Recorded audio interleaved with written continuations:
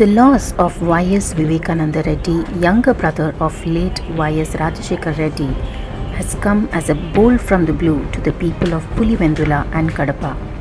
Y.S. Vivekananda Reddy, a former legislator, minister, and member of parliament, was an extremely popular public figure in the area.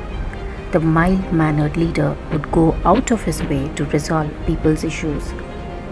As Rajya Sabha member and senior YSRCP leader V. Vijayasai Reddy recollected, YS Vivekananda Reddy would go to the man on the street, stop by a tea stall, and find out about the problems in his constituency.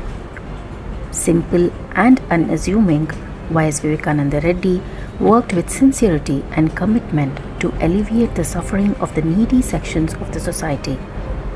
Several leaders recalled the manner in which the self-effacing Y.S. Vivekananda Reddy would go to ministers during late Dr. Y.S. Rajshekar Reddy's tenure, not as the Chief Minister brothers, but as a representative of the people taking their concerns to the ministers for redress. Such was the simplicity they recollected.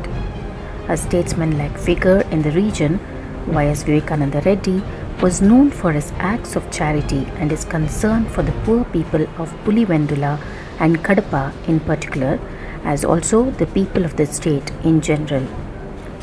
Pulivendula citizens lamented that their leader's demise has left them orphaned and created a void in their lives.